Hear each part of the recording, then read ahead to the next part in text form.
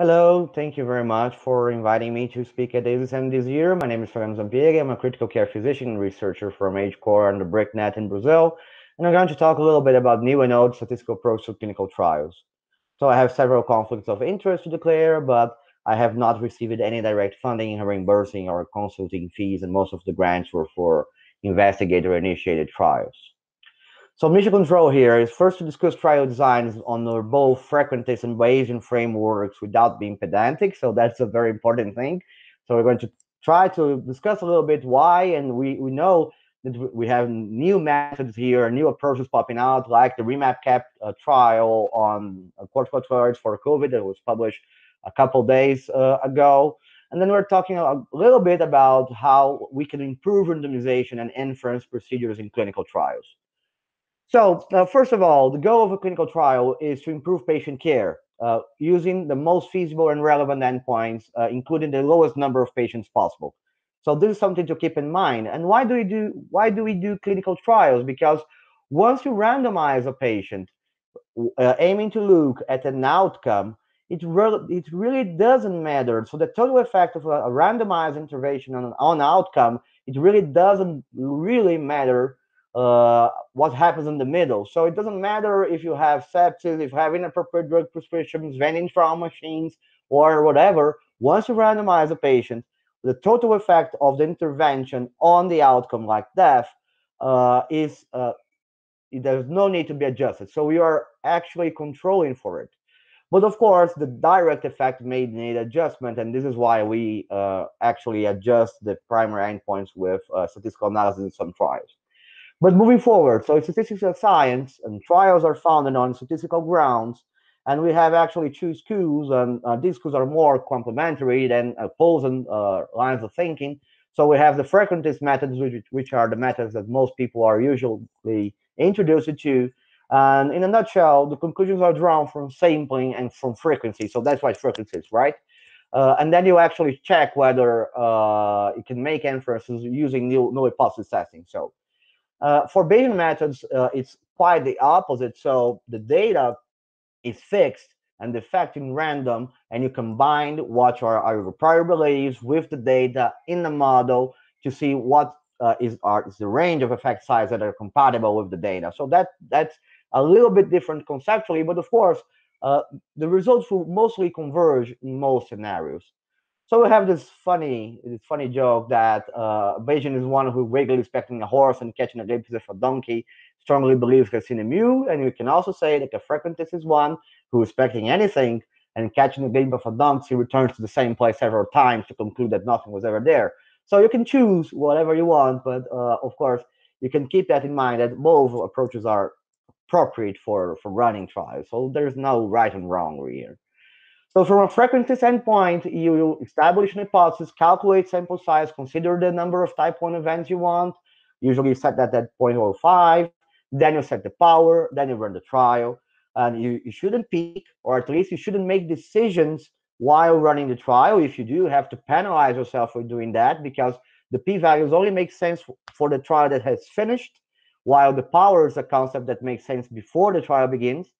Sometimes you can adapt sample size. For example, this is something that's uh, quite new, not new, but uh, sometimes if you peek, you can see uh, trends and then you can uh, readapt and recalculate sample size and then analyze results, which are done under a frequentist, uh, uh, under a null hypothesis test. That is, the null hypothesis is true, and you can you can try to deny it, but you can never affirm it. So this is just simulation to see. of course, you shouldn't report that for a trial, but uh, let's say I, am going to do a large trial of 2,200 uh, patients uh, to reduce uh, primary endpoint from 50 to 45%. And then I start running the trial, and you can see the p-values, how they fluctuate over time, and how the confidence intervals and the point estimate for an intervention, they, they, they try, they stabilize until the end of the trial. Of course, you should not peek. And if you have a look, for example, very early, for example, you can see uh, an absolutely uh, the opposite effect. So this is the intervention is harmful, for example. Uh, but this is why this says that uh, you should not make decisions without penalizing yourself under a frequentist uh, endpoint or a frequentist framework. Uh, of course, I can resimulate the trial again, and then I can get a negative result for the trial all the time. So, uh, and that's why the concept of power should be important because uh, you have a you have a given chance to actually see the difference. But if you run the same simulation several times, you may only find a difference in, let's say, 80%, uh, like I, I set for for this. Under the Bayesian framework, things are a little bit different. So, establish an hypothesis, you calculate a sample size, you have to establish priors for the events or the effect size. So you have to plug in uh, some prior information, and then you can run the trial. And of course, this is uh, you can debate that, but probably there's not much of a problem if you peek inside the data. So the REMAP-CAP, for example, they had monthly for for their report on COVID nineteen. They had monthly uh, peeks to the data to check what was the uh, effect size over time uh, and that allows you not only to adapt sample size, but to adapt randomization, more on that later, uh, but to stop the trial once you have some uh, degree of certainty or once you can uh, have a certain degree of certainty on futility. And then you analyze the results and then you can plot what are the possible effect size that are compatible with the data given the priors in the model. So of course the priors are the most tender point. Sometimes people uh, kind of freak out for for setting the priors, uh, but mostly uh, they should be designed in the design phase of the RCT. You can consider several of things for priors, uh, but most of the time priors can only be used to regularize uh, what you are expecting. So they're just used to uh, avoid a model to to make the model skeptical for very large or very low effect size. So they are just regularizing what you're going to show. So I'm going to use the same trial as before under the Bayesian framework, for example. So uh, my prior is that the control group will have a mortality around 50% and 95% probability that the mortality is between 40 and 60. So this is the beta binomial curve for that in black.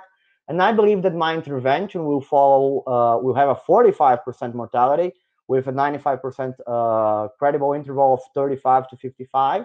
So these are my priors. So this is equal to say that my prior is that odds ratio is 0.82 with these credible intervals. But of course, I use a beta here. You can do that in many ways. And then you just get the, the Bayesian updating running and you can plug in trial data. And as patients are being admitted, so the priors here are in dashed lines.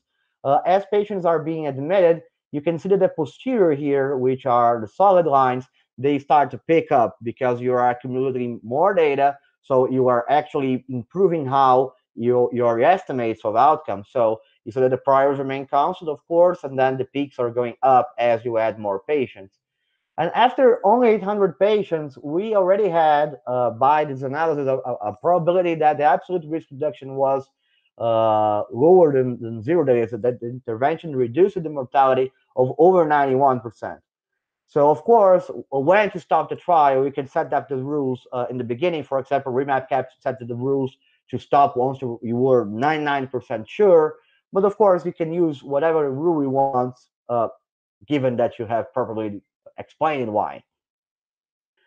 Uh, of course, this uh, this resulting betas here, they are uh, they are you can represent it with any measurement you want. So this the relative risk, for example, in this trial was uh, 0.88 with a 95% credible interval for 82 versus 95%. So you can report it whatever you want. And you can report uh, slices of this. So you can report what's the probability that intervention is associated with a relative risk lower than 0.6 or higher than 1 than 1.1. So you can actually query the, the posterior any way you want. So, and one thing that is interesting that even after the bad run that I have shown before, uh, the, the Bayesian methods, they show that you still have a 90% probability of benefit after the full run in that bad run that was not positive for due to chance. So this kind of avoids you of throwing out the baby of the bathtub. So uh, this allows you to say, well, uh, this may not be conclusive, but of course I would be willing to keep studying this because there's a very high chance that this may be useful. So of course, uh, this comes to other questions like, uh, uh, but how to make the process of including patients in the trial uh, more appropriate and how to reduce randomization costs because you know information is acquired during the trial. Uh, so how can you do that? So of course, one way is always to engage in collaborative trials, choosing proper endpoints. And one thing is you can adapt randomization and you can perform sequential trials and borrowing information. Of course, this can be done in both frequentist and Bayesian frameworks. Maybe it's easier to do under Bayesian frameworks, but it can be done under both frameworks. This is a lovely review by Pallmann in the BMC Medicine uh, a couple years ago, uh, showing several ways you can adapt the trial or you can change trial conduction to improve uh, reporting and to making trial more ethical. For example, uh, this trial here, uh, you, you, can you can adapt, you can change the number of patients that are going to be included uh, in the groups as the trial goes and as you acquire more knowledge on what's happening. So you can do that for dropping an arm, for example, in a trial. And of course, this guarantees that you are probably enrolling patients to the group that's most promising. So this is more ethical for in a broad sense. And this type of approach, although they are kind of new, they are around. So you can find papers that have done it before. So this is a very nice trial on uh, anticonvulsant drugs for status epilepticus. And they actually, I'm not going to go all through this, but they actually, the, the, the core of the analysis was an update of the beta binomial distribution. Uh, similarly, uh, of course, a little bit more complex, but uh, similarly to what I've shown before. So uh, it, it's simpler than it sounds for most of the time. Uh, we have some adaptive trials going on. So, for example, one one good example of how to to use uh, all this information in an adaptive framework is a trial on antivirals for for COVID nineteen. So you can set up a first stage trial where you you check viral load, for example, and then you move on to a viral load outcome, and then you move on to a clinical endpoint, and you can borrow and you can use information for all uh, the, the groups uh, until the outcome. So this is a way to improve, uh, to use your sample size better. So in conclusions, clinical trials are absolutely necessary. There is no statistical approach that's better or worse. Some might be more flexible, some less. Uh, perhaps Bayesian methods may excel in adaptive trials, but of course, you can run anything that you can run in a frequentist framework, in a Bayesian framework, and vice versa. And we all should remember to reappraise the evidence as it goes. With that, I thank you very much for your attention. See you next time.